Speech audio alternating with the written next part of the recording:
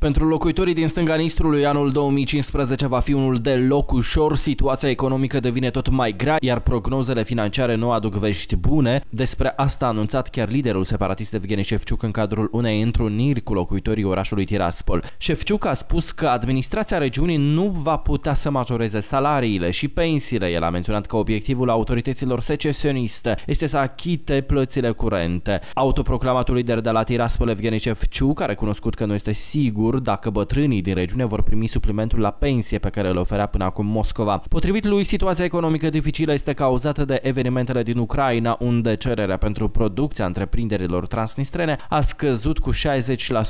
Reamintim, pentru onorarea plăților sociale, administrația separatistă avea nevoie lunar de aproximativ 190 de milioane de ruble transnistrene sau aproape 14 milioane de euro la cursul de astăzi, în timp ce veniturile la bugetul regiunii noiembrie au ajuns la 100 5 milioane de ruble sau aproximativ 7,5 milioane de euro.